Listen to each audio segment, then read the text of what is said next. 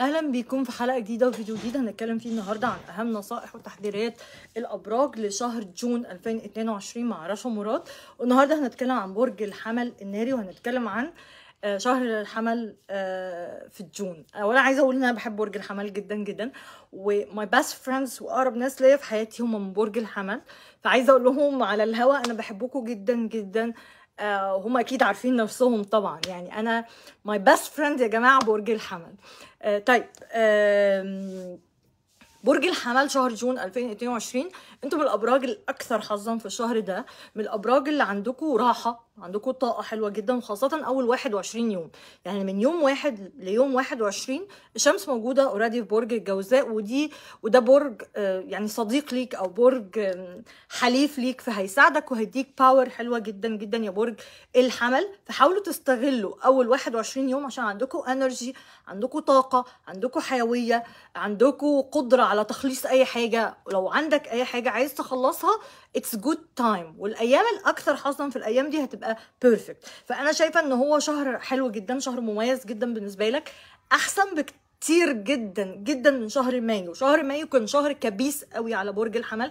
كان شهر متعب كان شهر مرهق كان شهر عندك فيه آم، طاقة مش أحسن حاجة في الدنيا كنت مش زعلان مش مبسوط مش فرحان كنت تشعر بالوحدة. يعني برج الحمل من أكتر ال- المشاعر اللي كانت مسيطرة عليهم في شهر مايو 2022 هو الشعور بالوحدة وبال يعني بالزعل بالحزن. فأنت الحمد لله إن إحنا خلصنا من شهر مايو يا جماعة. يعني قولوا لي فعلا شهر مايو كان شهر كبيس عندكم يا برج الحمل ولا لأ؟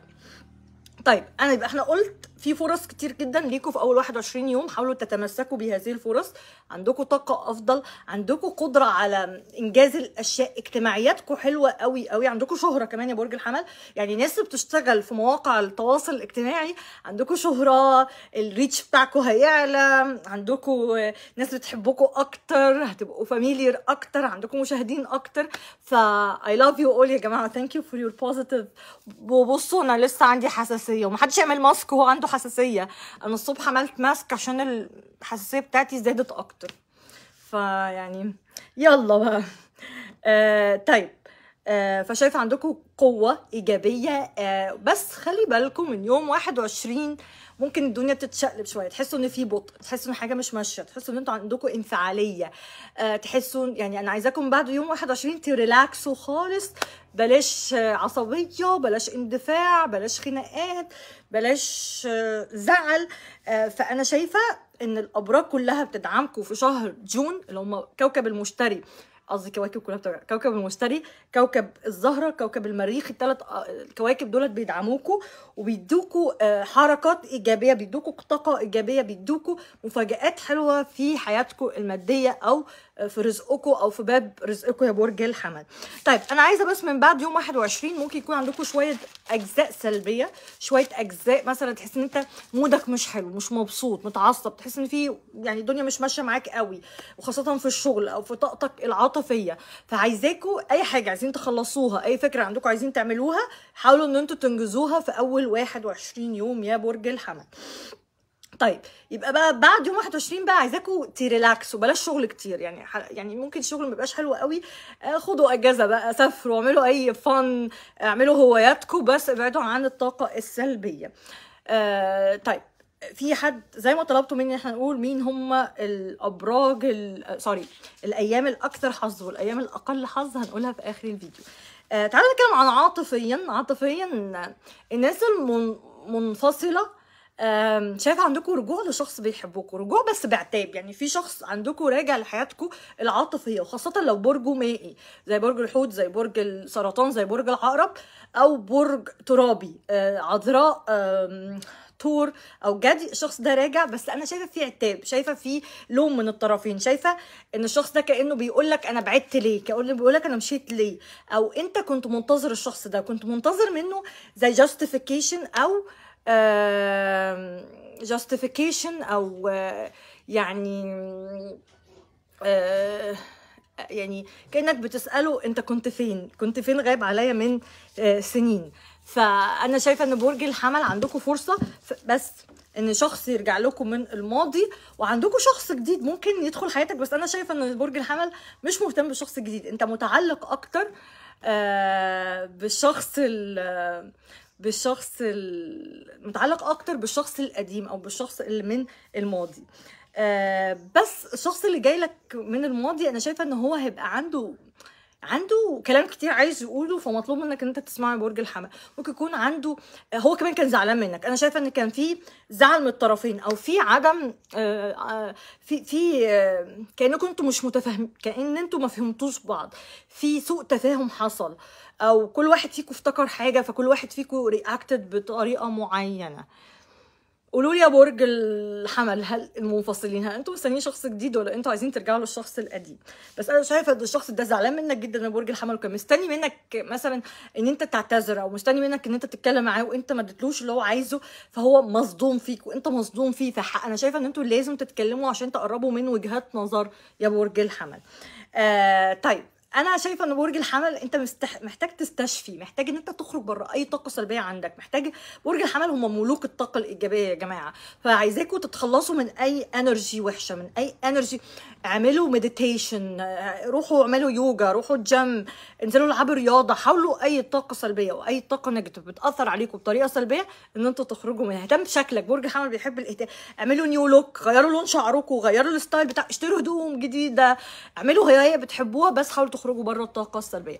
أما الناس المرتبطة فعايزة بس أحذركم خاصة آخر أسبوعين في الشهر من أي آه، انفصال أو أي مشاكل أو أي خناقات علاقة on off غيرة شك آه، يعني ممكن تكون علاقتك مش مستقرة مع ال partner بتاعك ويحصل خناقات أو انفصال ما بينك وما بينه بسبب طرف ثالث الطرف الثالث مش لازم يكون شخص آخر ممكن تكون بسبب مشاكل عائلية أو بشك... بسبب شك غيرة. فحاول إن أنت لو حسيت إن في مشاكل بينك وبين ال partner بتاعك حاول إن أنت يعني إيه تقلل العصبيه برج الحمل تقلل الهجوميه تقلل نرفزة وحاول إن أنت تقرب المسافات بال partner بتاعك وتحاول إن أنت كمان ما تدخلش العلاقة لأزمة. يعني ما يعني حاول أنت تمشي الدنيا يا برج الحمل. عدي يا ليلى. طيب أما الأشخاص العزاب فشايفة في شخص جديد أو حب جديد بيطرق بابك وخاصة يعني ممكن يكون برج السرطان أو برج العذراء أو برج الثور أو برج الأسد أو برج الميزان. دي الابراج اللي ظاهره الشخص ده شخص بيحب شغله جدا شخص حازم شخص شخصيته قوية آه، شخص مانجر ممكن يكون مدير عنده شركة صاحب شركة عنده ناس مسؤولين منه. شخص يعني مش سهل إن أنت تفهمه شخصيته قوية شخصيته ما بيعبرش عن مشاعره بسهولة. دي صفات الشخص القادم إلى حياتك. زي ما قلت ممكن يكون ترابي فالأشخاص السرطان كده العذراء كده الثور كده آه، الجدي كده يعني برضو الميزان يمكن الوحيد ال expressive فيهم. بس الشخص ده هو شخصيته قوية آه، شخصية يعني ليها هيبة ليها مكانتها في المجتمع آه، بيحسب كل خطوة بيعملها رايحة فين وجاية منين شخص عنده قدر في المجتمع. ممكن يكون برضو إمكانياته المادية كويسة جدا زي ما قلت إن هو ممكن يكون مدير عنده business عنده آه، عنده عنده إمكانيات شخص عنده إمكانيات كويسة جدا جدا والشخص ده هيبقى معجب بيك جدا يا برج الحمل ومعجب بطاقتك الإيجابية بحيويتك بيحس إن أنت بتديله energy بتديله وده حقيقه أي حد يعرف برج الحمل هو بيديله energy آه فهو هيبقى مبسوط قوي إن هو بيقرب منك بس حاول إن أنت يا برج الحمل ما تتقلش عليه لأن الشخص ده لو أنت تقلت عليه ممكن تخسره. ومعروف إن برج الحمل تقيل شوية وخاصة في بداية علاقاته فحاول إن أنت تظبط ال relationship مع الشخص ده آه لأن هو بيحبك جدا وهيبقى عايزك وهو شخص مش بيلعب يعني هو مش player يعني once إن هو يحس بالعلاقة هيبقى عايز يرتبط بيك يا برج الحمل. فخليك على طبيعتك معاه خليك down to earth معاه. خليك آه، يعني يعني خليك صريح خليك open معاه. وبلاش ال mind games بتاعتك يا برج الحمل. طيب على نطاق المال شايف عندكم فرص حلوة جدا شايف عندكم مصدر دخل كويس داخل حياتكم. أو فلوس ممكن تكون جاية لك آه، فلوس حلوة جاية لك من بره أو ما يعني شايفة عندكم it's like يعني كأنه مصدر رزق جديد بيتفتح لك. الناس اللي بتدور على شغل ممكن تلاقوا شغل كويس بس اجتهدوا في البحث. يعني ما تفضلش قاعد مكانك كده وتقول أنا مش بيجي لي شغل ليه؟ أنا ما عنديش opportunities أنا ما عنديش فرص. لا do your best ودور على شغل هتلاقي فرص وهتلاقي آه فرص حلوة جدا جدا جاية لك. أما على نطاق العمل فخلي بالك يا برج الحمل من أشخاص بتستغلك في الشغل أشخاص بتستغل أشخاص بت بتلعب عليك mind games أشخاص مش كويسين. خلي بالك من زملائك في العمل ممكن حد يعمل فيك مقلب يتكلم عنك بشكل مش كويس لمديرينك أو للمسؤولين عنك كمان. خلي بالك إن أنت ممكن تضطر تسيب الشغل بسبب حد يعمل فيك موقف يزعلك أو يضايقك. كمان الحاجة التانية إن أنتوا عندكم تغيير في العمل. يعني الناس اللي بتشتغل ممكن يجي لك فرصة عمل أفضل أو أحسن أو ممكن تغير شغلك أو ممكن تغير مثلا من department ل department تاني من مكان لمكان من فرع لفرع من قسم لقسم أو تغير شغلك كله لمعظم الناس. بس شايفة إن التغيير هيبقى تغيير إيجابي. يعني مهما غيرت شغلك فهو أفضل بكتير جدا. وشايفة عندكم كمان آه، حاجات حلوة مفاجآت حلوة في العمل فشايفة إن هو حتى لو حصل تغيير فالتغيير ده لمصلحتك. وممكن يجي لك برضو مصدر رزق عن طريق مكافأة بونص فلوس جديدة جاية لك ترقية ف it's good for you يا برج الحمل. طيب أنا شايفة كمان إن المشتري آه، بيتنقل لبرج الحمل فده بيخليك إحنا زي ما قلنا في أول السنة إن برج الحمل هو أكتر حظا في النص التاني فكوكب المشتري هو كوكب الحظ بيدعمك لأن هو اوريدي بيتنقل لبرجك يا برج الحمل.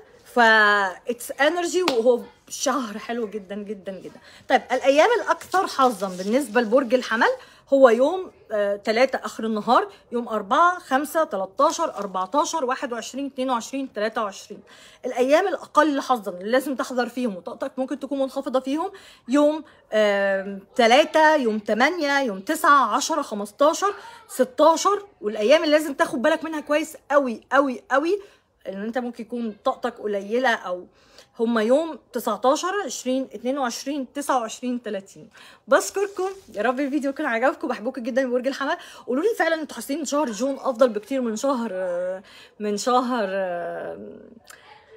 مايو ولا لأ؟